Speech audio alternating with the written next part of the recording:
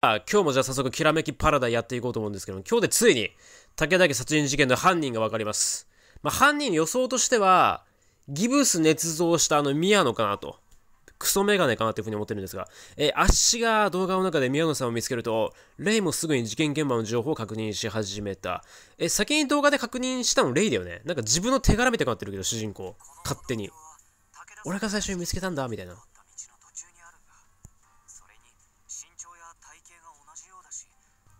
ということは、宮野さんはずっと足たちに嘘をついてたんだわ。だわさ。ここに来る途中で、えー、足たちを見備った人たちも彼が仕向けたのかな可能性が高いね僕たちがここに来ることは誠さんも知らない極秘のものだったはずだなのにどうしてあいつらは僕たちが現れる時間と場所を知ってて待ち伏せできたんだろうとなってくると、あの暴力団って言われていたいた連中も共犯である。ってことは、集団で武田を殺したってことになるね。なるほどね。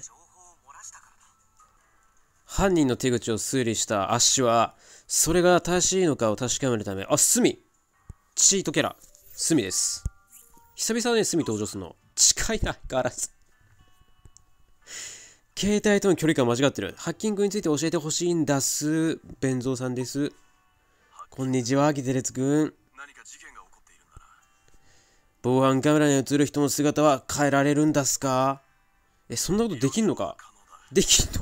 え？高度な技術を持つハッカーはほい？あらかじめ防犯システムに特定のアルゴリズムを仕込むことができる。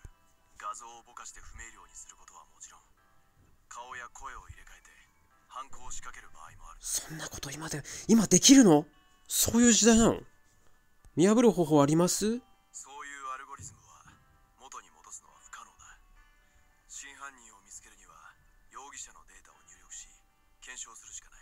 え、ていうか、スミさんのお家こんな大きな水槽あったっけ？え、これ相当大変じゃん、飼育するのも掃除するのも。マジかそれで一日終わんないか。そいつのスキャンデータを送ってくれ。えーと、今から送ります。検証には少し時間が必要だ。確認できた。容疑者のデータを入れるの防犯カメラに入れるってこと？なんかもうよくわかんねえな、もうお。疲れ宮野さんが怪我したふりをしてたことを警察に伝えたら容疑者として重点的に捜査するってそうなんだ。腕時計のことは調べられた？このペアの腕時計は4年前に宮野さんえが、ペアの腕時計なんだ。あ俺てっきり確認済みだ俺てっきり遺体からかっさらったのかと思った俺宮野さんが。そっかペアか。こんな高価なものをプレゼントするなんてよほどゆきこさんとは深い関係があったんだねですね来た宮野の世界に入りますついに文字盤？ウィジャ版宮野の世界はウィジャ版の世界だもう鳥居が天に向かってこれが宮野さんの心の世界か冷淡、冷酷な人なのに。そうとかではなく、冷酷な人なのに。記憶の新聞がこんなに美しいみたいなんて。じゃあ、てかもう確定なんか、これ。このフェーズ入ったらもう宮野確定だもんな、犯人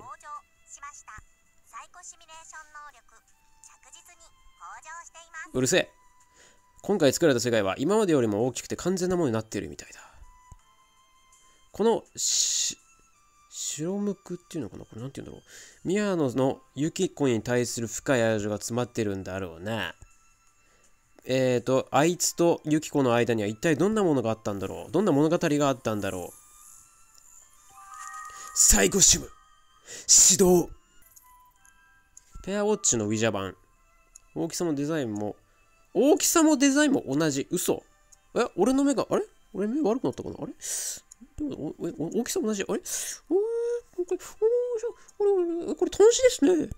あれ？これトンシですよこれ。トンシあれ？えーとこれこれひゃー！いやこれはもう NHK 杯史上に残るペアウォッチの文字盤の大きさですねこれサイズは異常は。以上ありだろこれ。どうなってんだこれ？俺が間違ってんのか？機械的な交渉じゃないってことだね。時計が止まった時何か特別な意味が起こりえん。7時14ユキコは死んだ日を暗示しているのか。えあの鳥は何なんだろうな？ちょっとわかんないな。およ？およよよよ？机の上にあるこの探検。誠のコレクションだ。宮野はユキコの身に起こったことを誠のせいだと思っておる。どうなんだろうね。これうんわかんないよね。証拠はあるのか証拠は。えー、because ユキコになりすまして今回の全てを計画。だとしたらさそれはそれで宮野もちょっとややばくねえか。ユキコを犠牲に生贄にして今回の殺人事件しかもユユキコを犯人になすりつけてるからね。これなかなかですよ宮野さんもやってること。これなかなかです。探偵様屋敷の人間を集めたということは事件について何か分かったのでしょうどの？口が言うんだお前は真犯人は誰か分かりました？奥様桜井由紀子さんは4年前に亡くなっています。彼女に犯行は不可能どす。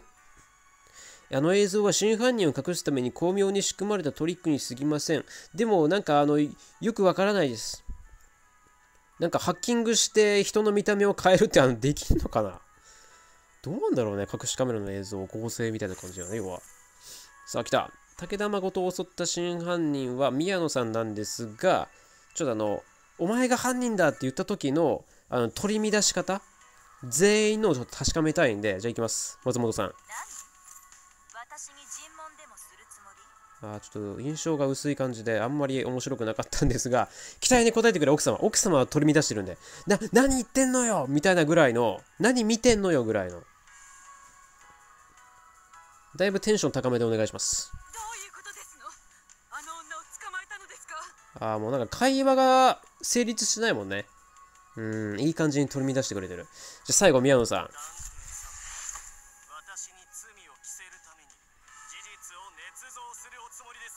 悪くないね。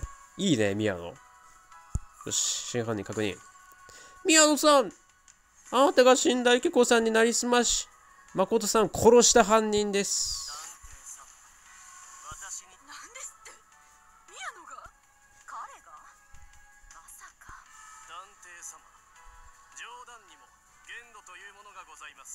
私は腕を骨折しています犯行が不可能だったことは警察も証明してくれている事実ですそれもうこのドヤ顔ですよ。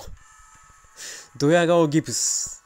的外れな非難で皆様の時間を無駄になさらないでくださいそういえば俺あの、左手高校の時に骨折したことあるんだけど、あの、ギプスはめて学校に行くと、あの、めちゃくちゃみんな優しくしてくれます。普段なんか話さないような人とかも、なんか優しく接してくれるから、あの、俺が黒板消し係だったんだけど、そこで、いやいや、代わりにやるよ、みたいな、言ってくれたりして、なんかすごい気使ってくれて、なんか申し訳なかったですね。その申し訳ない気持ちはないのか、宮野お前は。そんなドヤ顔してるけど。いや、そもそも折れてはいない。えーと、彼が自ら怪我を負ったという証拠はない。どうすればいい？話題を避ける。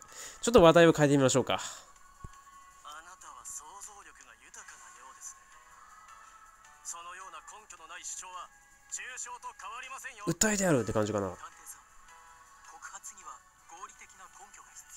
あれ、俺早とちりした？す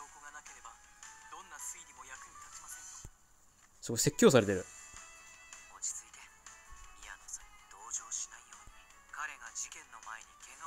まあ、あの新聞の写真見せればいいんじゃないの？ニュースの。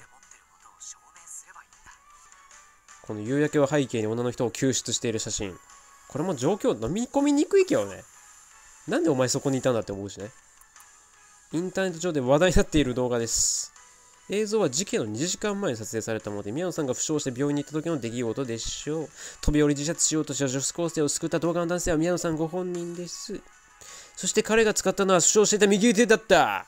は本あ。当にあなたなの宮野よくも私を騙したわねこれでもまだプレッシャー80%なんだ。怪我のことを多少大げさに言いましたがそれは単に休暇をいただきたかっただけですこんなことで私を犯人だ。と決めつけるまあ確かにね。右手が折れていなかったっていうのを証明はできたけどじゃあ殺人を犯したかっていうとそれはまた別の話だ。いいえ。今のは一つ目のカムフラージュですユキコさんのふりをして誠さんを襲うことが目的ソフトウェアエンジニアである宮野さんにとっては簡単なこと本当？これ本当？世界中のソフトは AI エンジニアできんの？こんなこと。防犯カメラの映像を合成して別の人に犯行を行ったように見せかけるみたいな。そんなできんの？これ。監視カメラだよね？これだよね？このシステムキーを技術者に確認してもらった上で防犯システムに接続してもらえますか？キーが差し込まれると防犯カメラに映る宮野さんの姿はすぐにユキコさんの姿に差し替わった。これすごいな、これ。すごい技術だな、これ。犯人の姿が変わるのは特定の時間に設定されていやした。そのキーは時間設定を解除するプログラムです。つまり、すべての時間において、本当の犯人の姿が、ユキコさんの姿に変わるようになったんです。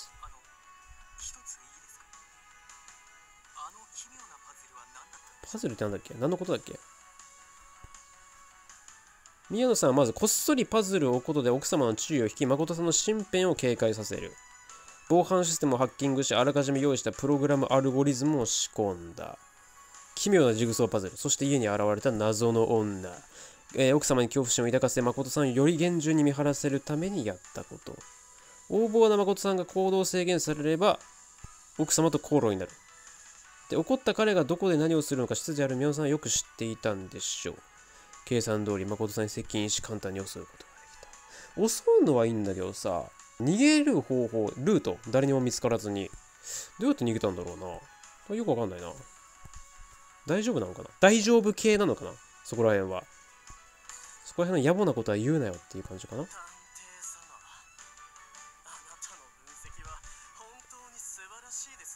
心臓バクバクです。宮野さん。ですが皆様もご存知の通り私には若様を傷つける動機か。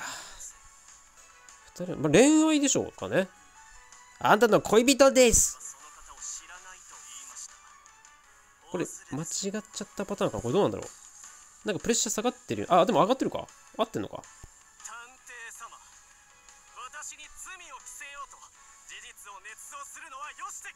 まあ重ね重ね申し上げますがプレッシャー93心臓バクバクでこういうこと話してます。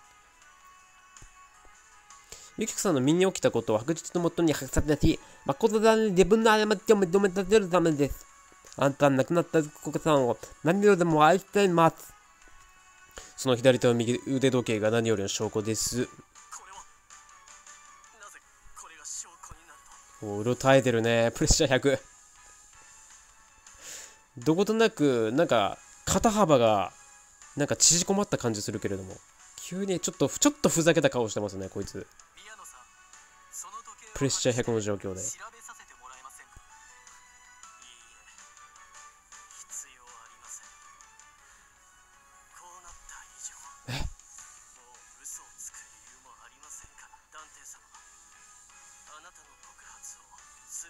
という間に翻した時計って言った瞬間。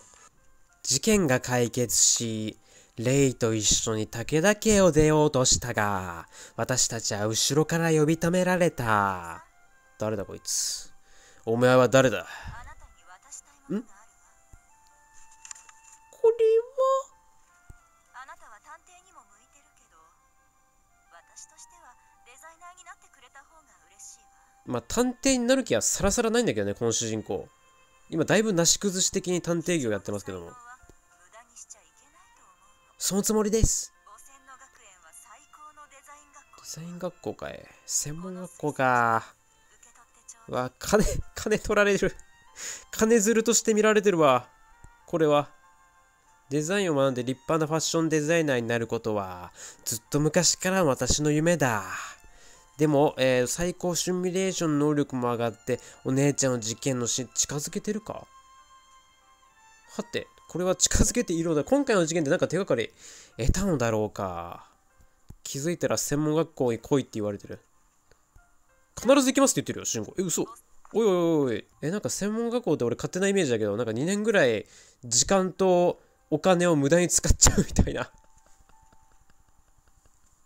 すごい偏見で俺物見てるけど。よっしゃ、今日も最後に恒例のアイス飲みチャレンジやっていきます。来い、頼む。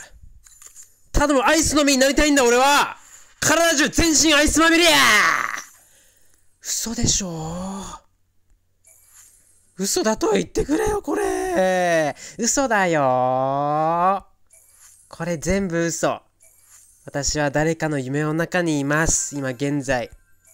申し訳ありませんが。これ嘘です。幻です。幻の10連ガチャです。大丈夫。何も問題ない。っていう夢を見た。20連目いきます。こっからが本番。明けの明星じゃーい金金が新年って言おうと思ってました。言葉が詰まるの何も出てこない。何も思い描くことが自分たちのサッカーができない。表現できない。どうしよう。明けましておめでとうございます。もう一回やってやろうじゃあよいいんだろもう一回回せば。頼む、金ピカダイヤ、風のクリスタル、風のクリスタル、風のクリスタル。風、風のクリスタル。This is クリスタル。すごいもう、大富豪だったら上がってるんじゃないかっていうぐらいダブってる気するんだけど。2枚上がり連打で勝てるぞ、これ。8切り挟んで、挟み込んで。40連目。観光します。よろしくお願いします。もうそろそろ金ピカゴールデンマーケットゴールデンマーケットもう見たくもない。全部飛ばす。全部飛ばす。もう見たくも痒くもないから。まあでもさすがにどっかで蹴りつけなきゃいけないんで、うん、50連目。今日これで終わり。お疲れ様。これで今日は最後です。お疲れ様で、お疲れ様でした。えええええええいなんなら60年目にやろうか、おにゃろ。来いよ、かかってこいよ、おらスキップ。グロいです。グロテスク。グロテスクガチャをお送りしていきます。もう終わり、これで終わり、これで終わり。もう何があっても、何があってももうこれで終わり。もう終わり、もう終わり。やだやだやだ。もう何もかもやだ。80連目。もうやだ。これ、もう本当終わり。これ本当の終わり。本当の終わり。本当の、本当の終わりじゃない。本当の終わりで90連目。金はたんまりある。90連目いくぞ。金ピカ、せめて金ピカで終わりで、金ピカで終わらせろや。マジで。なんか蹴りつけたいのよ。いいところで。いいところで切りつけたいから、100連目。うん。もうここまで来たらもう引くに引けない。俺もう出るとこ出るぞ。なんでだろう。なんでだろう、これ。